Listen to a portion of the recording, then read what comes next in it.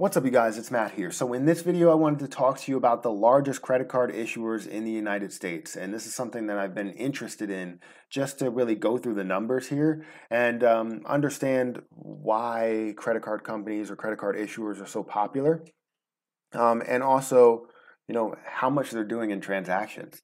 Um, that's really interesting to me. But before I start, make sure you hit the like button on this video. Also hit the subscribe button for more videos just like this one. And I do a giveaway every single week. So if you want to know about that giveaway, stick around to the end of the video and you'll hear all about it. So according to the Nilson report, these are the biggest United States credit card issuers by purchase volume in 2018. So I know it's 2020, but a lot of uh, information comes from the past. It makes sense. You're not going to get information from the future.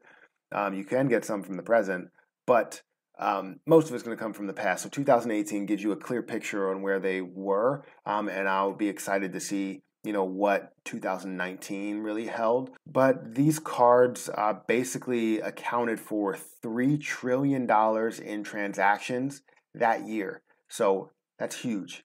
Trillion with a TR. Trillion. That's a lot of money. Um, so let's go ahead and get into the top issuer.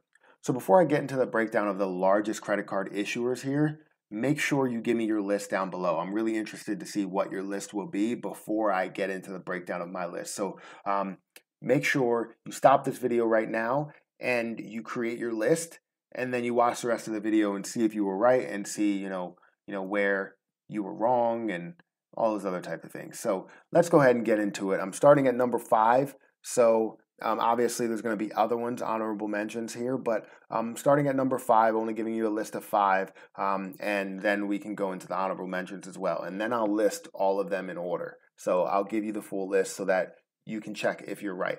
Um, first, let's start with Capital One. So Capital One is number five at $336 billion. And I hope you didn't pause this and, you know, get all of the information from the internet and find a way to paste it in here so that you can be as right as possible. You don't get an award for doing this, so um, I just want to see what everybody thinks. So don't go to Google and type it in. But Capital One accounts for $336.9 billion, um, and it has 15 plus cards, and the net income was roughly in 2019 was 1.6 billion. So um, that's number five. I don't blame Capital One for only having 15 plus cards. It it makes sense.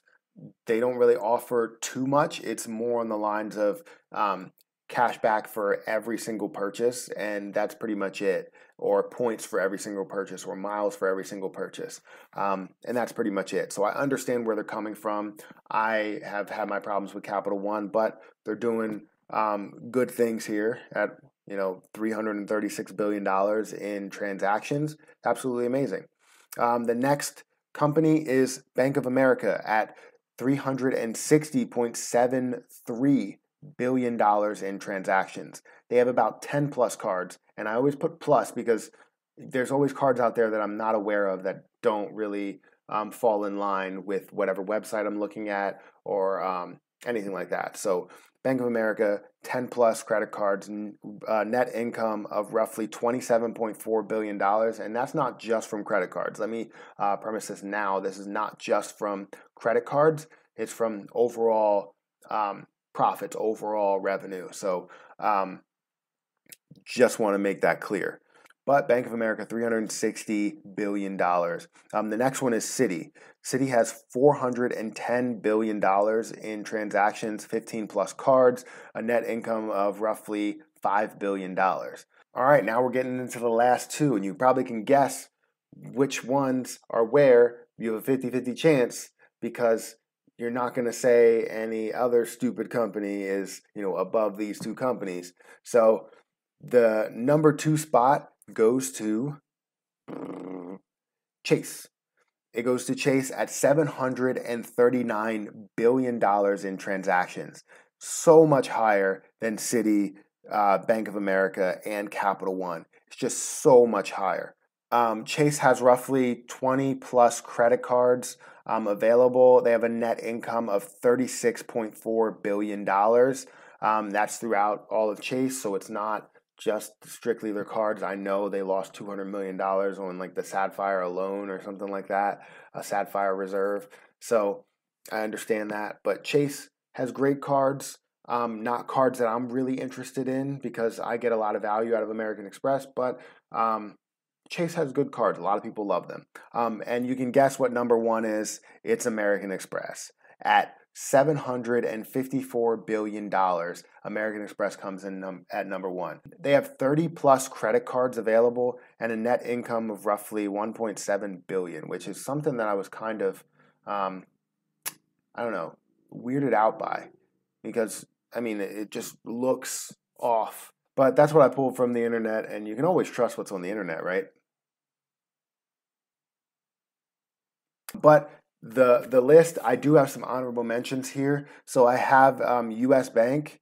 Um, U.S. Bank is at 145.69 billion dollars.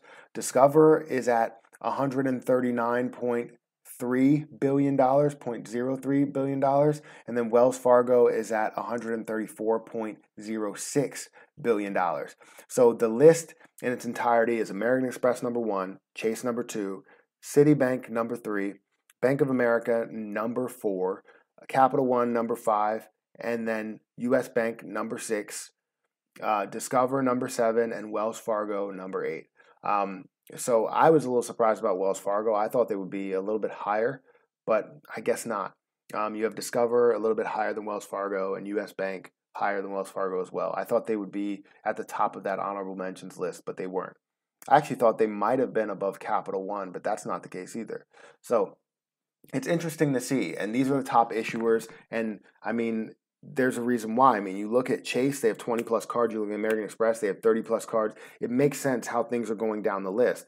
And that's my list. I mean, um, when I look at all of these cards, it makes sense why they're there. American Express and Chase are at the top. They're pretty much neck and neck at 700 plus uh, billion dollars in transactions. Um, a lot of people are using their cards, and they're going to continue to use their cards.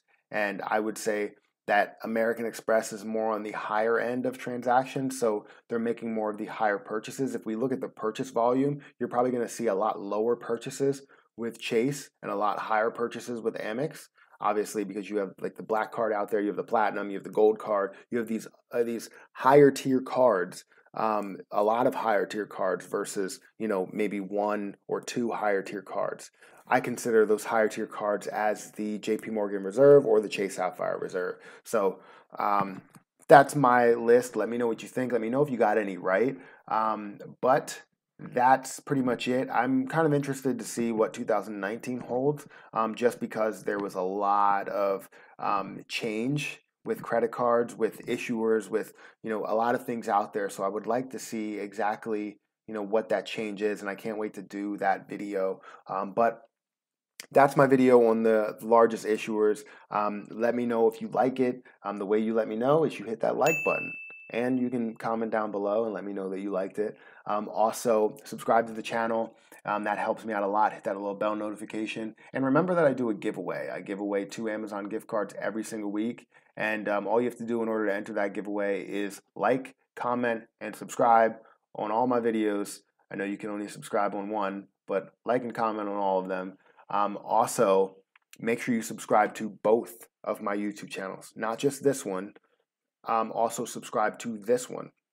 And if you do that, you're to get one ticket in the hat. But if you want multiple tickets, up to seven, then you comment on all of the videos that you can, and you'll get seven tickets um, for each comment that you put. Um, but make sure you're subscribed.